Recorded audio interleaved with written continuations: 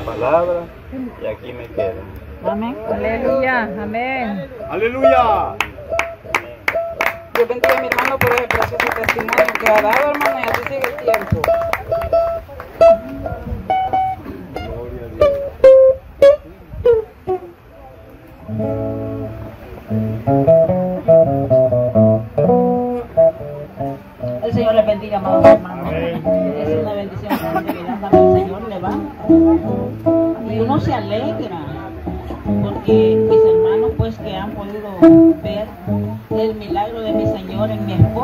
Sí, amén.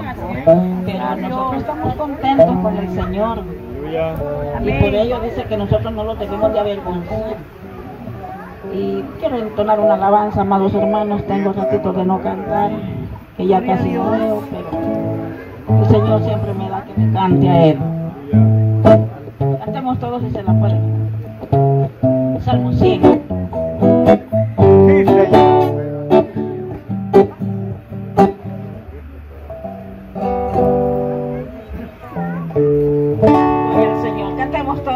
Gocémonos en el nombre de Jesús.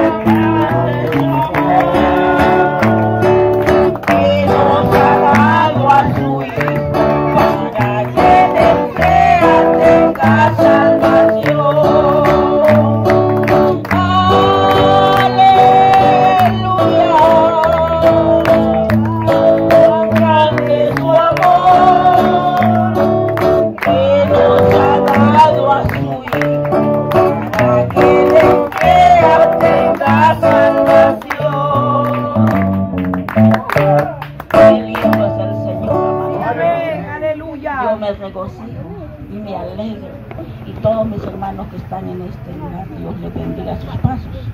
Porque mis hermanos, el hermanito, él nos cuenta, ¿verdad? Nosotros llega a la casa, él nos cuenta su tristeza. Pero Dios está con él porque lo ha levantado, como levantó a mi esposo, que él ya estaba de camino. El Señor dijo, no, todavía no es tiempo. Está en ese proceso, pero el Señor es bueno con cada uno de nosotros. No debemos de tener orgullo, no debemos de tener ningún problema con nadie, amados hermanos, porque nosotros estamos con el Rey de Reyes y Señor de Señores. Que el Señor le bendiga, hermano. Amén. Dios bendiga a mi hermana por esa preciosa alabanza que ha cantado, hermano. Y ahora vamos a venir en palabras de oración para la ofrenda. Amén. Amén. Gloria a Dios, aleluya.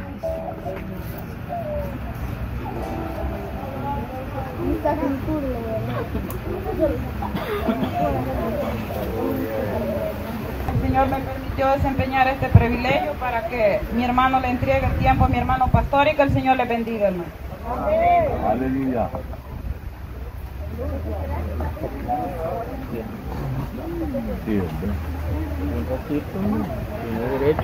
Bendiciones para todos, bendito sea el nombre del Señor Jesús. Amén. La honra y la gloria es para el Señor. Tenemos de, de gran motivo de estar alegres porque estar en este hermoso hogar, ¿verdad? Sabemos de que cada uno formamos un pueblo del Señor. Sabemos de que es una iglesia, ¿verdad? Bendito sea el Señor. Por eso nos gozamos. Y más en eso que nos ha dado el privilegio el Señor de hablar de su palabra, ¿verdad? Pero nos gozamos en gran manera. No somos grandes predicadores de elocuencia, pero hablamos de que Cristo salva y sana, ¿verdad? es lo principal. Y que ha muerto por cada uno de nosotros para darnos vida eterna, juntamente con Él, ¿verdad? Gracias, Señor Jesús. Porque todos tenemos vida eterna. Aunque sea en castigo allá, pero tiene vida eterna. Pero nosotros, juntamente con Cristo, tenemos vida y eso lo gozamos. Gracias, Señor Jesús. Por eso nos gozamos más. Porque sabemos que el enemigo a veces no le gusta que uno hable de él porque él está expuesto para una condenación. Y nosotros estamos expuestos a una salvación que Cristo nos ha dado. Gracias, Señor Jesús. Busca un Sagrada Escritura, vamos a leer una preciosa lectura.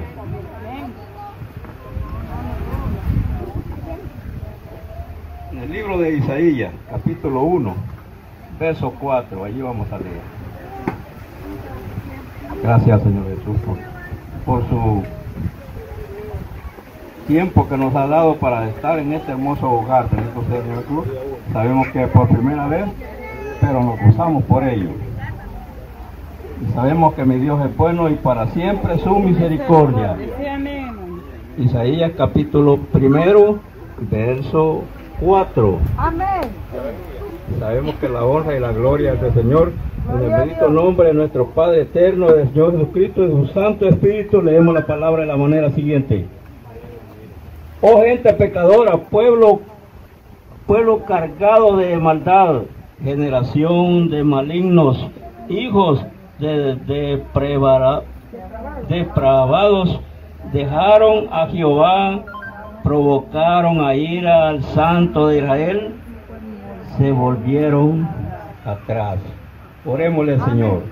Gracias, bendito Padre Celestial, por su hermosa palabra, Señor, que en esta hermosa tarde ha traído, Señor, para mi corazón, Señor, sabiendo de dónde, cuál nos ha sacado, para dónde vamos y de dónde venimos, sabemos, mi Dios, la gloria y la honra es suya, Padre, en esta hermosa hora. Ponga sabiduría en nuestro corazón, Señor.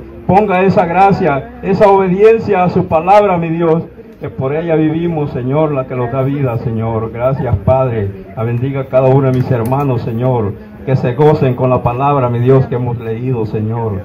Gracias, Padre Santo. Primeramente mi corazón se alegra, Señor. Gracias, Padre Santo, por ello, Señor. En su nombre, mi Dios. Gracias, Padre Santo.